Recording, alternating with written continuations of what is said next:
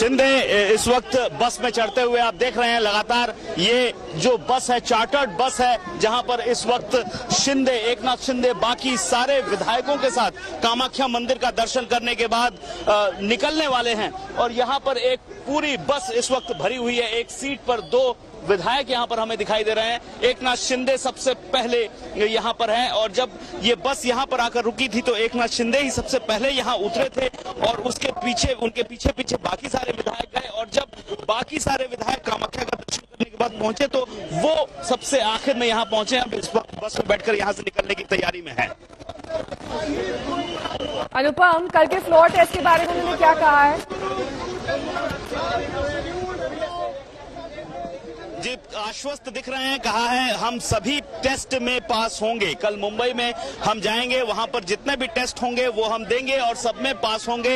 ये बात पूरी आश्वस्तता के साथ इस वक्त एक नाथ शिंदे ने कही है। जब वो मंदिर से बाहर निकल रहे थे कामाख्या का दर्शन करने के बाद। यहाँ से ये बस होटल जा रही है सीधे एयरपोर्ट। बस रवाना हो चुकी है। देखिए, वो अभी साफ़ नहीं है। कुछ लोगों का कहना है कि हो सकता है कि ये होटल जाए, सामान पैक है, वहाँ से सीधे होटल में सामान लेके एयरपोर्ट निकल जाए। कुछ लोगों का कहना है, डायरेक्ट वो एयरपोर्ट के लिए निकले, क्योंकि कुछ लोग हो सकता है बिना खाए हुए आए हों, ये भी हो सकता है। तो ऐसे में थोड़ी देर में अभी जो रास्ता है, उसी तरफ़ जाता है। यानी कि होटल अगर आप पहुँच के भी एयरपोर्ट जाते हैं तो बहुत ज़्यादा समय नहीं लगेगा। साथ ही अनुपम, जिन 50 विधायकों का वो दावा कर रहे हैं, सभी के सभी इस बस में मौजूद हैं?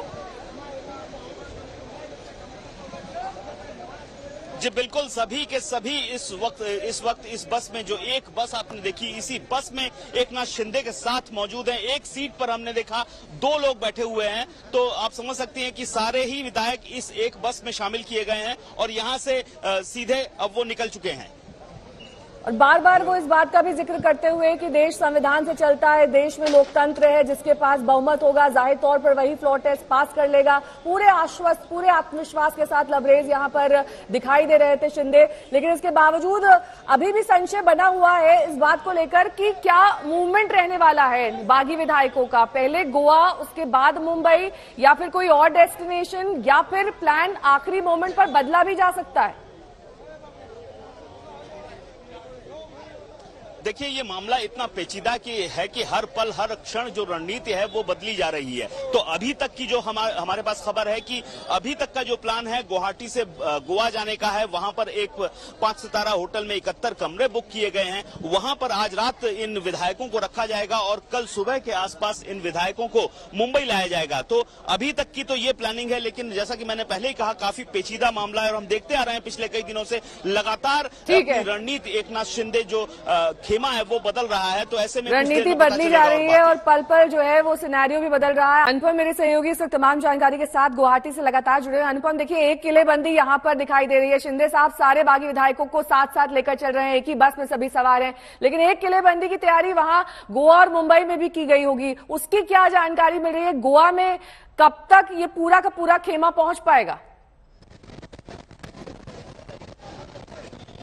जी देखिए गुवाहाटी से किस वक्त ये लोग जा रहे हैं यहाँ से निकल रहे हैं उस पर भी काफ़ी कुछ निर्भर कर रहा है। क्योंकि अगर चार बजे के आसपास ये गुवाहाटी से निकलते हैं गोवा के लिए तो अढ़ाई से तीन घंटे का वक्त लगेगा। ऐसे में साढ़े छह सात बज जाएगा शाम का इनको गुवाहाटी से गोवा पहुँचने में। और उसके बाद रात भर वहाँ रुकेंगे अगले दिन सुबह मुंबई इनको आना होगा। तो ये फ़िलहाल की जो प्लानिंग है हालाँकि अभी ये इस वक्त यहाँ से निकल चुके हैं दो बजने के आसपास हैं। ऐसे में ठीक है अनुपम रोकेंगे आपको शिंदे इस वक्त बोल रहे हैं। बहुत इम्पोर्टेंस होता है। इस दे, इस देश में कॉन्स्टिट्यूशन और कानून और रूल्स इसके आगे किसी को जा, जा नहीं सकता है कोई भी।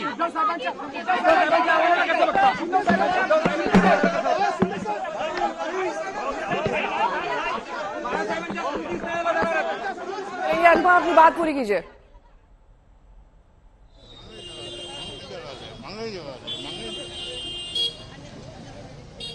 अनुपम आपको मेरी आवाज़ मिल रही है? जी बिल्कुल आवाज़ मिल रही है नेहा। अपनी बात पूरी कीजिए। जो आपसे हम जानकारी लेना चाहते थे गोवा में क्या तैयारी है? गोवा में इस वक्त सबकी नज़र टिकी हुई है क्योंकि अब अगला डेस्टिनेशन वही है बागी विधायकों का।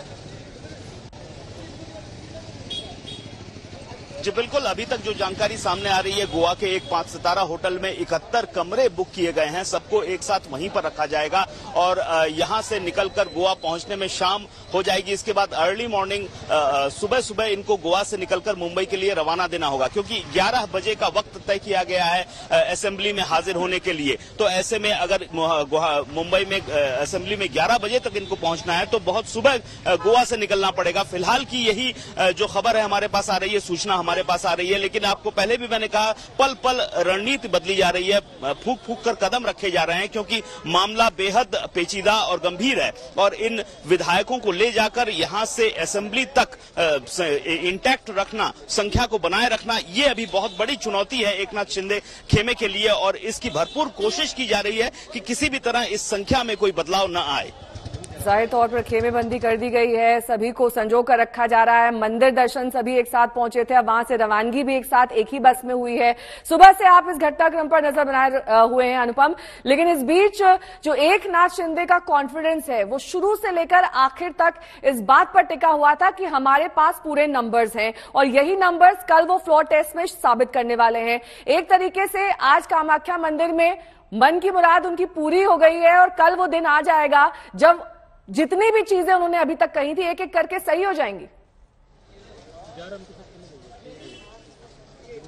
जी, नेहा, देखिए, कल से अगर हम देखें तो बॉडी लैंग्वेज अगर हम गौर करें एक नाथ शिंदे का तो कल दोपहर बाद जब पहली बार वो मीडिया के सामने आए, बहुत आराम से टहलते हुए, मोबाइल पर बात करते हुए वो होटल रेडिसन ब्लू में जो अहाता है, जो बरामदा है, वहाँ पर चलते हुए बाहर गेट तक आए। तो वो जो बॉडी लैंग्वेज था, वो बड़ा रिलैक्सिंग बॉडी लैंग्वेज दिख रहा था। इसके बाद आज सुबह से हम जो देख रहे हैं, पहले वो सुबह सुबह खुद उन्होंने, वो यहाँ पर आए, उन्होंने यहाँ पर माँ कामाख्या का दर्शन किया, उसके बाद सारे विधायकों को लेकर वो यहाँ पहुँचे और लगातार कई बार मीडिया से बातचीत की। तो और जो बातचीत का जो लहजा रहा, बातचीत की जो बॉडी लैंग्वेज रही, वो देख के साफ़ साफ़ ज़ाहिर हो रहा है कि काफ़ी आश्वस्त है, लेकिन एक संशय अभी भी वही बना हुआ है कि इस संख्या को ले जाकर अंततः असेंबली में फ्लोर टेस्ट में बनाए रखना, बरकरार रखना, और उसी की उधेड़ बुन फ़िलहाल विचार विमर्श चल रहा है कि किस तरह से इस संख्या को बनाए रखकर असेंबली और फ्लोर टेस्ट तक पहुँचा जाए, क्योंकि बार बार कहा जा रहा है, दूसरे पक्ष की ओर से पंद्रह से बीस लोग हमारे संपर्क में हैं। ऐसे में जो रणनीति है उसी हिसाब से तय की जा रही है। एकदम शुरुआत में ही मुंबई नहीं ले जाया जा रहा है मुंबई के पास रखा जा रहा है और दूसरे उसके बाद वहाँ से मुंबई ले, ले जाया जाएगा। बिल्कुल नज़र बनाए रखिएगा, क्योंकि इस बीच लगातार ये भी कहा जा रहा है कि गोवा के बाद कल सुबह वो सभी मुंबई की ओर रवाना होंगे, क्योंकि 11 बजे से फ्लोर टेस्ट का उन्हें सामना करना है। हमारे सहयोगी लगातार अनुपम बने हुए हैं। अनुपम, अब से कुछ देर पहले हमने देखा भी कि एक नाथ शिंदे मीडिया से मुखातिब हुए, और यहाँ पर मंदिर के बाहर भी लगातार बार बार वो यही बात कहते हुए दिखाई दिए कि देश में लोकतंत्र है, और जिसके पास बहुमत है, वही राजा है। जी बिल्कुल नेहा एक बात अगर आप गौर करें तो अगली रणनीति का खुलासा अ, एक नाथ शिंदे नहीं कर रहे हैं। उन्होंने यहाँ तीन से चार बार मीडिया से बात की, माँ कामाख्या के दर्शन के बारे में बात की डेमोक्रेसी की बात की, हालाँकि रणनीति क्या है, उनसे बार बार पूछा गया कि आप यहाँ से गोवा जा रहे हैं या मुंबई जा रहे हैं। तो उन्होंने कहा, हम अंततः मुंबई, कल सुबह मुंबई जा रहे हैं। लेकिन इस बीच में गोवा जाकर मुंबई जा रहे हैं कि नहीं, इस बात का खुलासा वो नहीं कर रहे हैं। और दूसरी बात वो जो लगातार बोल रहे हैं या उनके जो विधायक हैं, वो बोल रहे हैं कि एक एक बात पक्की है कि हम टेस्ट के लिए तैयार हैं। वहाँ पर जाके किसी भी तरह का टेस्ट देने के लिए हम तैयार हैं। तो ये सारी बातें फ़िलहाल सामने आ रही हैं। रणनीति फ़िलहाल यही है कि यहाँ से अब गुवाहाटी छोड़ने का वक्त आया है। मुंबई कल किसी भी हालत में इनको पहुँचना है। ऐसे में गोवा होकर वाया गोवा, मुंबई ये पहुँचेंगे।